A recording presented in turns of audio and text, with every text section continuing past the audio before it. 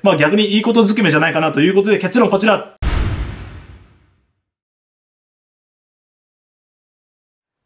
KT です。お疲れ様です。今日は2月22日ということで、カープラボ元気よくスタートしていきたいと思います。えー2月も残すところ1週間を切ってきまして、まあ3月入りますとね、えー気温も上がってきますし、オープン戦も始まりますので、まああっという間にね、えープロ野球開幕という日が来てしまいますので、皆さん準備の方だけしっかりよろしくお願いいたします。で、今年は特にですね、WBC もありますんで、まああの、走行試合、強化試合含めますと、もう3月の頭からね、もうプロ野球シーズンといいますか、野球シーズンがもう始まってしまいますんで、しっかりね、準備の方しといてください。よろしくお願いいたします。はい、というわけで今日の動画はこちら、ドンということで、投手の8番はありですか、なしですか？というタイトルでスタートしていきたいと思います。まあ、こちらはですね、また皆さんご意見分かれるところかなというふうに思いますんで、まあ、この動画で自分なりのね、え根拠とか意見をちょっと喋っていきたいと思いますし、一つね、え結論を出したいなというふうに思いますんで、えまた皆さんそれぞれのご意見をコメント欄に残していただけると嬉しいです。よろしくお願いいたします。はい、それでは本題の方入っていきたいと思います。まずはじめ、カープ打線をね、軽く振り返ってみますと、えー去年の成績でいくと、チーム打率はリーグトップということになっておりまして、ヒットは出ます、えー、繋がりますという打線になっております。はい、で、ホームランの方はね、ちょっと少なかったり、えー盗塁数はリーグワーストということで、課題はね、課題として一つあるんですけども、あの、ヒットは出る、繋がる、チーム打率は高い打線ということになっておりますね。そしてその中でもこちら、ドンということで、秋山さん、西川さん、野間さん、坂倉さん、小園さんと、えーいった左の好打者たちは非常に誇れる、えーポイントかなというふうに思っております。まあ、ただですね、この 5, 5人のね、えー左バッターたち、大きい枠でいきますと、えー似たようなタイプかなということもありまして、えーそれぞれの適正打順というのはしっかり見極める必要があるのかなというふうに思います。まあ、ホームランをね、ガンガン打ったりとか、えー足でね、かき乱したりというタイプではなくて、まあ、3割打つよ、あの、ホームランも2桁打つよ、盗塁めちゃくちゃ多いわけでもないよみたいな感じでね、え結構似たり寄ったりなタイプだというふうに思いますので、しっかり適正打順は、え見極めたいなというふうに思います。まあ、秋山さんですね、ライオンズ時代の秋山さんは、あの、他の選手のね、え個性も強かったということで、まあ、一番がね、もう本当にベストだろうというのはあったんですけども、じゃあ今のね、カープの打線、まあ、リーグも変わって、え9番にピッチャーが入るということも想定しますと、あの、秋山さんがじゃあ一番がベストかといったら、えそうではなくなってくるのかなというふうに思います。まあ、ただですね、こちら、ドンと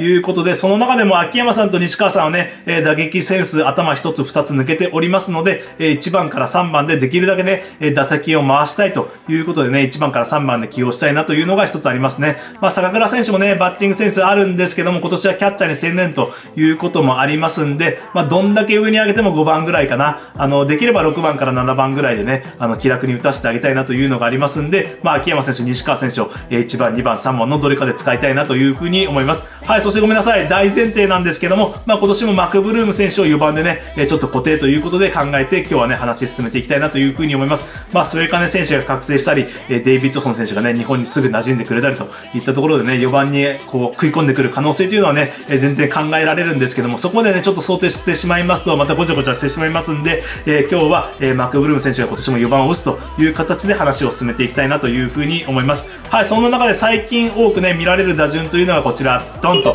いうことで、1番秋山さん、2番西川さん、3番デイビッドソンさんという並びがね、多く見られております。まあ、あの、オープン戦練習試合ということでね、2打席で変わるということで、あの、新井監督もあんまりね、大きな意味はないよというふうに喋っているんですけども、まあ、このね、並びを軸として考えますと、えーだとしたら菊池選手はまた6番に入ってくるのかな、えー坂倉選手がじゃあ5番に入ってくるのかな？というふうに考えてきますと、7番、8番に野間さん、小園さんを並べるという打順になってきますね。はい。ただですね、野間さんと小園さん並べるとちょっとね、厄介かなということがありまして、えー仮に7番に野間さん、8番に小園さんというふうに入れますと、えー野間さんが出塁した場合ですね、小園さんに盗塁するまで待っとけよというのはちょっと酷かなと、もう初球からね、ブンブン振り回したいタイプの小園さんに、えー待てを出すのはちょっと酷かなというふうに思いますし、じゃあ逆にして野間さんを8番にすると、今度ね、え野間さんがせっかく出塁しても、まあ、ツーアウトじゃなければ、えーピッチャーにね、送りバントをさせるというふうになりますし、ツーアウトですとピッチャーで終わればいいということになりまして、えー野間さんの足を生かすことができないということで、まあ、7番、8番にね、えー野間さん、小園さんと並べるというのは、えーちょっとあまりいい作戦ではないかなというふうに考えます。そうなってきますと、こちらですね、ドンということで、野間さんがね、9番に入ってくるのが一番ね、えー、しっくりくるのかなというふうに、えー、思います。まあ、あの、ちょっとね、前の動画で、えー、野間さんがレギュラー張るには1番、2番をね、えー、打つぐらい頑張らないと、えー、厳しいよという動画も出したんですけども、まあ、ワンチャン9番という可能性も出てきたということになっております。まあ、ここでね、野間さん以外の方がね、ライトのレギュラーを取ると、えー、堂林さんだったりね、末金さん、中村健人さんあたりがね、あの、右でホームランを打てるバッタータイプのね、えー、バッターがライトのレギュラー使うとなりますと、これね、でまた全部ひっくり返ってしまいますんで、えー、今日は野間さんがレギュラーを掴んだということで話を進めていきたいと思います。えー、で、まあ、野手がね、え9番に入ると、え打線としてはどうなっていくのかなということを考えてきますと、まず単純にですね、え野手より投手の方が、え打席が回ってくるのが早いということになりましてね、打席が多くなるということが一つ考えられますね。まあ、そうなってきますね、まあ、森下さんとかね、大瀬良さん、まあ、東田さんもバントが上手なんで、まあ、こちらの3人だったらね、あり得るのかなというふうに考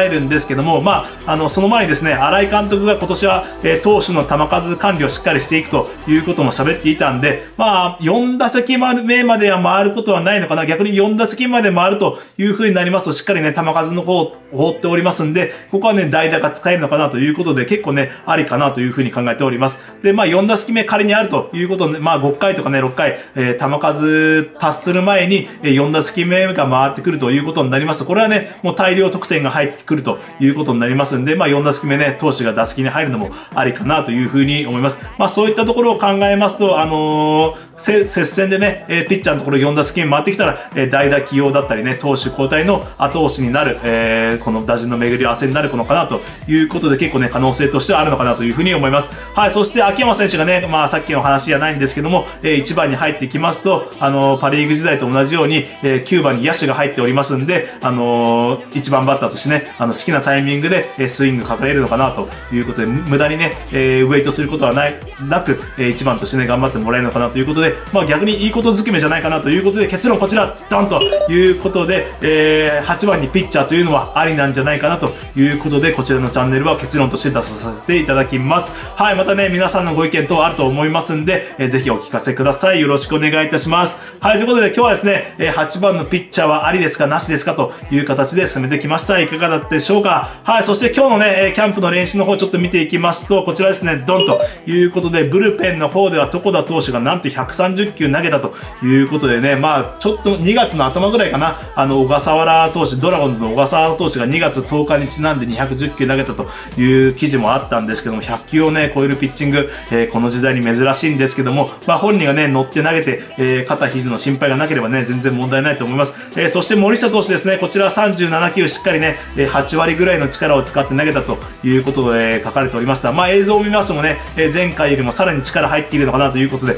え調整の方順調に来ておるというふうに思います。で、アクシデントがなければね、開幕には間に合うだろうというふうにおっしゃっておりますんで、まあ、床田さんはね、よっぽど開幕間に合うのかなというふうに思いますんでね、こちらの2人が開幕からね、えしっかりローテーションに入ってくると、これはね、本当に心強いなというふうに思いますね。本当にね、あの、焦らなくていいんですけども、入ってきてくれると嬉しいかなというふうに思います。はい、そして明日はですね、また、あの、楽天との、えー、練習試合ということで、え、えルーキーの増田さん、河野さんもね、登板予定となっておりますんで、こちらはね、楽しみに見たいなというふうに思います。はい、そしてですね、えー、相手、えー、イーグルスは田中選手、田中将大選手が投げるということでね、先発で投げるということもね、発表されておりますんで、こちらもね、本当に力試しとしてはね、えー、めちゃくちゃいいかなというふうに思いますんで、えー、楽しみにね、どうやって打ち崩していくかというのも楽しみに見ていきたいなというふうに思います。はい、まあ明日はですね、こちらの練習試合を中心にまた動画の方作っていきたいというふうに思いますんで、えー、チャンネル登録をして待っていただけると嬉しいです。よろしくお願いいたします。はい、というわけで今日今日の動画はですね、8番のピッチャーどうかということで作っていきました。